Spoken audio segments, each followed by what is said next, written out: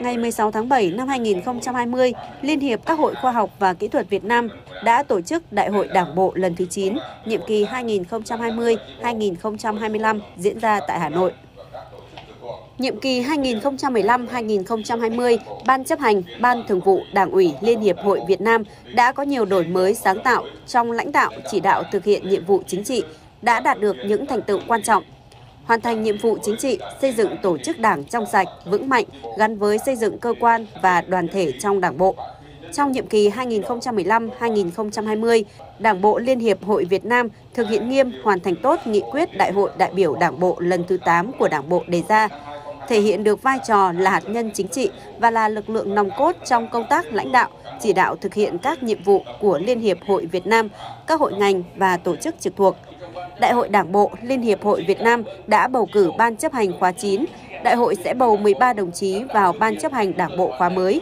Đại hội tiến hành bầu cử theo hình thức bỏ phiếu, được diễn ra minh bạch khách quan.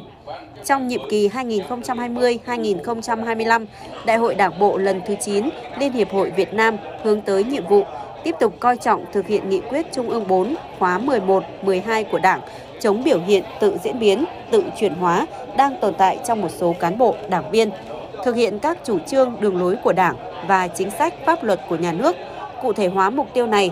Đảng bộ Liên hiệp Hội Việt Nam nêu rõ chỉ tiêu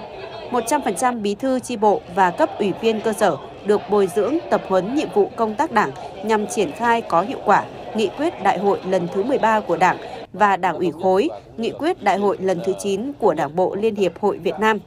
100% chi bộ xây dựng chuẩn mực theo tư tưởng đạo đức, phong cách Hồ Chí Minh, tổ chức sinh hoạt chuyên đề, đồng thời tổ chức cho cán bộ đảng viên đăng ký và tự giác học tập, làm theo tư tưởng đạo đức, phong cách Hồ Chí Minh.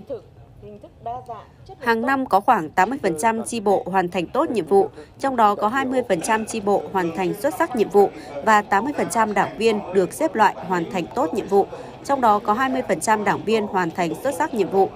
Phấn đấu kết nạp ít nhất 2 phần 3 số quần chúng được Đảng bộ cử tham gia học lớp đối tượng Đảng.